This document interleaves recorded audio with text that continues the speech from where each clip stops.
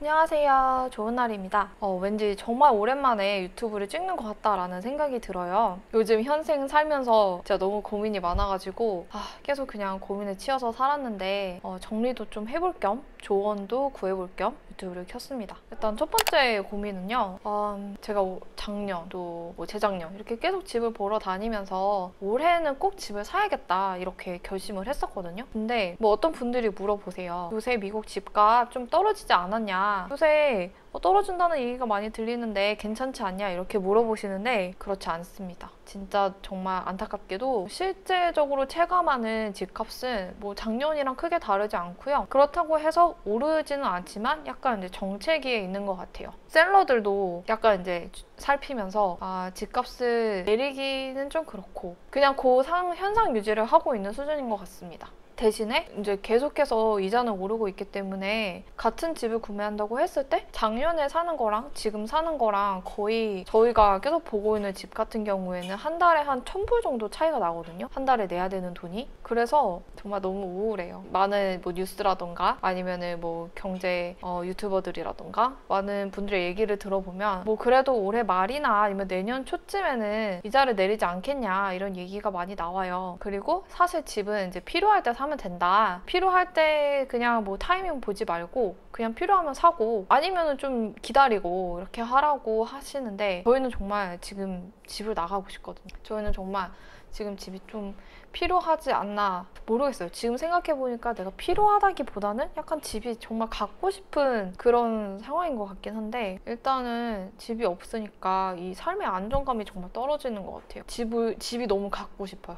내가 어디 안정적으로 정착해서 살 곳이 필요한 거예요. 그래서 요즘 머릿속에는 집을 어떻게 살 것인가 그거에 대한 생각밖에 없어가지고 좀 마음이 심란합니다. 게다가 이 집을 사기 위해서는 한국에 있는 돈도 다 가지고 오고 그리고 주식으로 있는 돈들도 다 정리를 해야 되는 상황인데 지금 아시다시피 환율이 요즘은 조금 내려 이제 내려갔다 올라갔다 하고 있긴 한데 아직도 뭐 이렇게 한 10년 평균으로 봤을 때는 꽤 높은 편에 속하는 1,300원 이상이고 그리고 주가 같은 경우에도 요즘에는 좀 회복기이긴 하지만 그렇게까지 이제 막 상승세에 있는 건 아니잖아요. 뭐 다행히도 총 금액에서 손실을 보진 않았어요. 물론 개별 주식으로 보자면은 뭐 손실 본, 본 것도 있고 뭐 번 것도 있고 이렇기 때문에 근데 이제 총 금액으로 보자면 어 딱히 손실을 보지는 않았어서 그냥 지금 정리를 한다고 해도 뭐 안 될 건 없지 라는 그런 수준인데요. 근데 좀 이제 아쉽죠. 내가 이거를 원래 계속 가져가려고 한 건데 팔아야 할까 아니면은 그냥 냅두고 어떻게 해서든지 그냥 현금 있는 것들로만 집을 사야 할지 아니면은 주식을 정리하고 그것까지 다 합해서 집을 사야 할지 그것도 정말 너무 어려운 문제인 것 같아요. 두 번째 고민은 이제 저희가 사람들을 조금씩 만나기 시작했어요. 뭐 교회도 가고 뭐 어떻게 다른 사람도 알게 되고 이래서 사람들을 이제 만나는데 뭐 저희 또래의 분들도 많고 뭐 조금 더 어른인 분들도 있고 아기가 있는 집들도 있고 그렇거든요.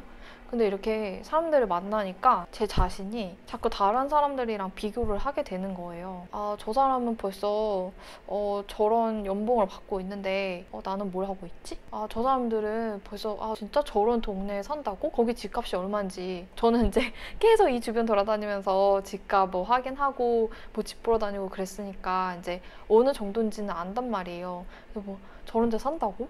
여기서 그게 감당이 된다고? 계속 이런 생각들이 드는 거예요. 그리고 또 이렇게 보면은 애들이 셋 이상인 집들이 진짜 많아요. 우리나라에서는 애가 셋이라고 하면 와 진짜 많이 났다. 막 애국자다. 막 이러잖아요. 근데 여기는 첫 애라서 한 명인 경우는 있지만 그냥 한 명만 낳고 끝 이렇게 하진 않는 것 같아요. 보통 두 명, 세 명까지는 낳는 것 같고 또 그냥 밖에 돌아다니다 보면은 한네 명까지도 가끔씩 보는 경우가 많아요. 그래서 보면서 아, 저 사람들은 어떻게 애를 두세 명이나 낳을 수 있는 환경이었을까? 어떻게 그게 감당이 가능했을까? 약간 이런 생각이 계속 드는 거예요. 다른 사람과 나를 비교하게 되고 그 사람의 상황이랑 나의 상황을 특히 이제 제가 요즘 계속 어, 집 갖고 싶다, 집 사고 싶다 이런 생각에 가득 차다 보니까 더 그런 식으로 생각을 많이 하게 되는 것 같아요. 그래서 자격지심이라고 해야 되나? 자꾸 상대와 나를 비교하면서 내 삶의 만족감이 이렇게 떨어지는 기분? 사실 보면은 저희도 그냥 나름대로 우리의 페이스로 잘 어, 삶을 이렇게 살아가고 있다고 생각을 했는데 문득 이렇게 옆이랑 앞을 보니까 사람들이 막 이렇게 가고 있는 건 거죠. 그걸 보면서 어 뭐지? 내가 너무 내가 꼴찌로 달리고 있는 거 아니야? 라는 생각이 드는 거예요. 사실 나도 뒤로 돌아보면은 또 다른 사람들도 뭐 자기만의 각자의 페이스로 오고 있을 텐데 뭐 이렇게 가고 있을 때 뒤로 돌아보기가 쉽지 않잖아요. 내 눈앞에 있는 거는 보기가 쉬우니까. 그래서 자꾸 그 사람들의 속도와 나의 속도를 비교하면서 약간 그런 거에서 오는 어떤 자격지심, 스트레스 그런 걸 좀 많이 느꼈던 것 같아요. 그리고 이제 세 번째 고민을 하고 있는 것들은 어, 이직을 해야 되지 않을까라는 점입니다. 일단은 어, 첫 번째로 집을 사기 위해서라도 돈을 더 많이 벌어야 되기 때문에 어, 남편도 지금 계속 이직 을 준비하고 있고 인터뷰를 보고 있거든요. 그리고 저도 어, 뭐 저는 아직 뭐, 뭐 지원을 한다거나 그러진 않았지만 그래도 아 내가 지금 이 여기서 일한 경력을 가지고 어떤 일을 할 수 있을까? 내가 계속 하고 싶은 일은 뭘까를 이제 고민을 하고 있는데 아직은 이런 자료들을 알아보고 있는 중이에요. 지금 좀 약간 그런 상태예요. 이제 편안한 시점에 있다.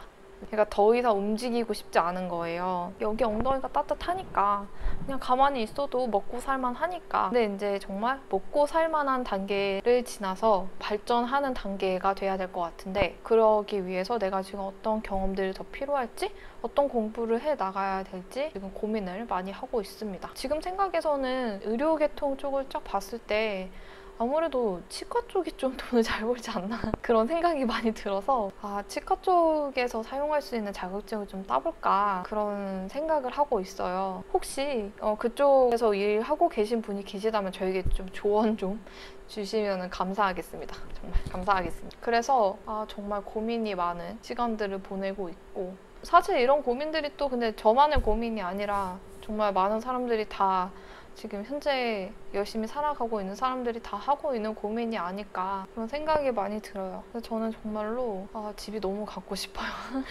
한, 한 곳에 이렇게 아, 내가 이제는 아 여기서 이제 5년, 10년 이렇게 살아야지 하면서 마음대로 집도 꾸미고 뭐 아, 내가 이제는 돌아갈 곳이 있다. 내가 더 이상 옮기지 않아도 된다.